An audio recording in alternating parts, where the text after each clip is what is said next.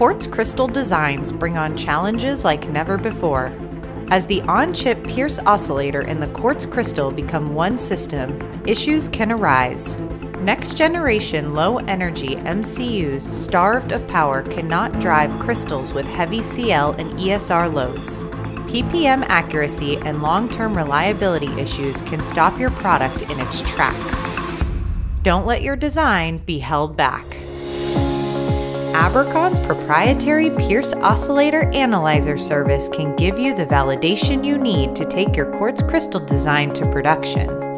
Abracon tests the crystal and system and provides a detailed report that includes operating point, crystal drive and startup, safety factor, PPM accuracy, and reliability of your crystal oscillator while recommending the changes you need.